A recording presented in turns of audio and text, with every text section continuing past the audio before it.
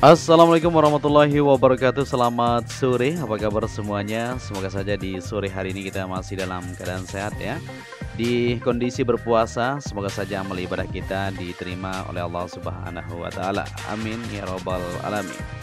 Ya di sore hari ini kita kembali mengudara di kawasan KIK Mandalika di zona timur tentu untuk melihat dari kondisi capaian maupun progres pengerjaan yang terus dilakukan di zona timur terutama di pantai Tanjung An dan begitu juga untuk jalur menuju ke pantai Grupuk dan Desa Merta seperti itu ya.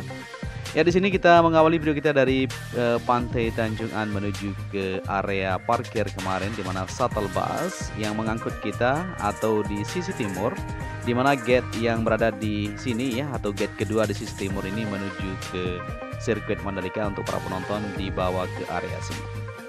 Ya, untuk pengerjaan di sini ter masih terus berlangsung di beberapa titik seperti yang kita perhatikan untuk pembuatan uh, boundary atau bundaran di depan sana kita akan sama-sama perhatikan maupun untuk pengerjaan pengoneksian di sistem drainase ya terus dikerjakan dan uh, pembuatan badan jalan juga terus dilakukan sampai saat ini. Ya, PT Pengembangan Pariwisata Indonesia atau Persiro Indonesia Tourism Development Corporation mulai membagikan atau mengembangkan maksudnya infrastruktur dasar di kawasan KIK eh, khusus Mandalika yang terbaru tentu. Ya, ITDC membangun jalan akses lebar dan mulus menuju Pantai Gropok dan Pantai Tanjung An, teman-teman. Ya saat ini ya dalam proses eh, pengerjaan satu sisi kata Direktur Utama ITDC Abdul Bar M. Mansur. Ya, nantinya jalan tersebut akan dilengkapi bangunan eh, pelengkap ya berupa pembatas jalan dengan konstan atau saluran terbuka, drainase swell dan area landscape-nya. Ya, dia menjelaskan jalan akses yang sedang dibangun tersebut berada di zona timur de Mandalika yang menghubungkan jalan provinsi area Sunggung menuju ke Pantai Gerupuk dan Pantai Tanjung An seperti itu.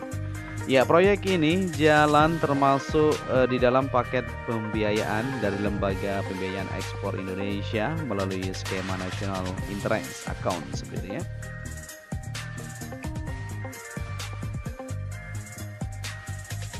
Ya, Abdul Bar Eman memastikan proyek dikerjakan dengan mematuhi protokol kesehatan ya pencegahan penyebaran COVID-19 yang dikeluarkan pemerintah.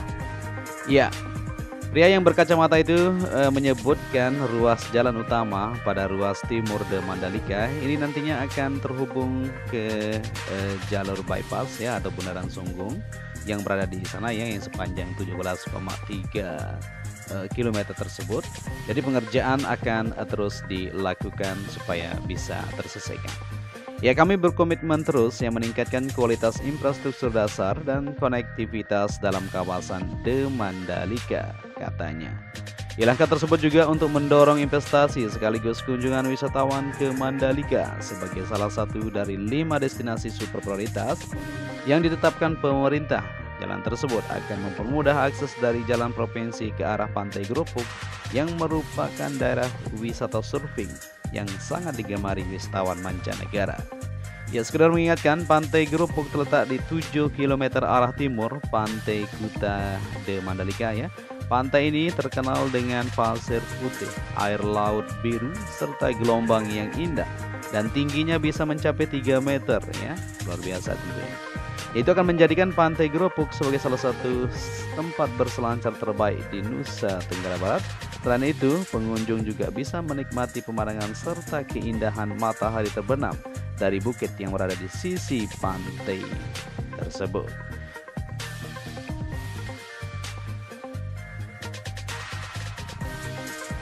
Ya, luar biasa sekali ya untuk pantai Gerupuk yang berada di sisi timur sana. Ya, di sini kita berada di area pengerjaan untuk sistem drainase yang berada di uh, beberapa titik yang terus dikerjakan di sisi timur untuk pembuatan uh, badan jalan ataupun lapisan dasar, lapisan sabes terus dikerjakan di sini. Setelah itu dilanjutkan untuk pembetonan modelnya di bagian atas kalau kita perhatikan bersama-sama ya seperti ini ya. Ini merupakan uh, agregat atau lapisan sabes ya sebelum dilanjutkan untuk pembetonan di bagian atasnya seperti itu supaya kuat nantinya untuk lapisan dasarnya. Ya terlihat di sini rata-rata uh, berat masih terus uh, bekerja ya untuk melanjutkan aktivitas uh, pengoneksian di beberapa bagian yang kita sama-sama perhatikan. Untuk itu kita akan terus simak videonya, kita akan uh, review seluruhan yang ada di area sini ya. Baik ini merupakan jalur menuju ke Pantai Gropok maupun ke area uh, Desa Merta.